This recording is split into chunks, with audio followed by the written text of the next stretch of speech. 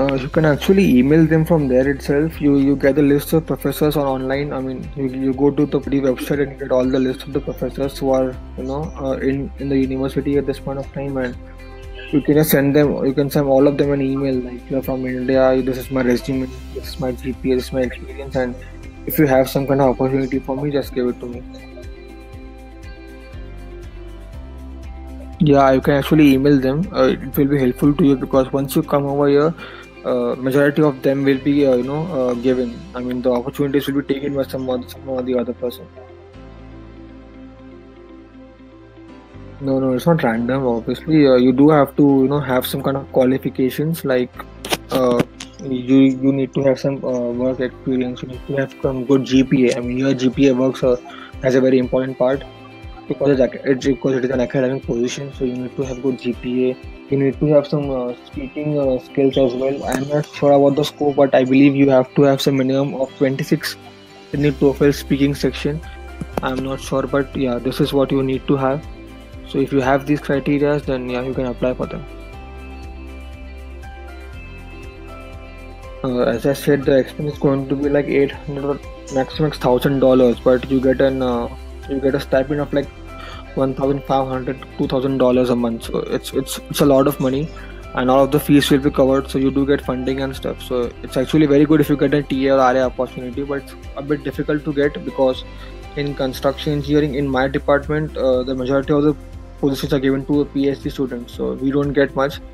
But if you go into the BCM department which is into the polytechnic school uh, they do have a lot of opportunities. They uh, they, they they do give funding to master student as well.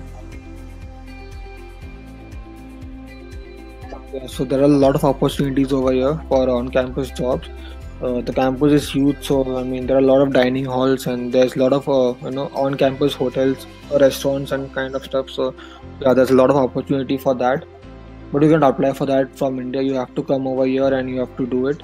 Uh, people you know sometimes say that you should not do an on-campus job in the first semester. You should like you know get adjusted to the climate and stuff but i don't think that's needed. You can just come over and start applying for it because it, it was a very smooth transition for me.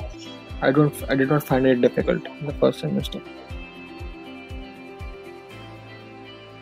Uh, I mean, you, you don't have furniture over here. I mean, majority of the apartments don't do not give you a furnished apartment.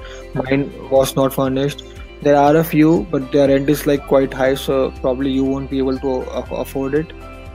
So basically I, I had to buy a bed a study table a lamp because there were no lights in my bedroom. So you have to buy a light as well a lamp and a study table and a chair. Basically that is what my expense was. The light was not available in my bedroom. The light was only in the uh, hall and the passageway the bedrooms you have to buy your own lights and stuff so the house was furnished not furnished.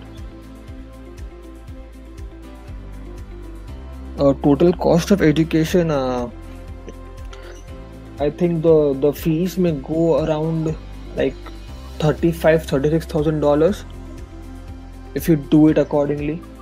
Uh, so that's it. That's going to be the tuition fees. Uh, above that, if you just like add uh, eight hundred dollars per month, and if you stay over here for like uh, 18 months so just multiply that and add it to it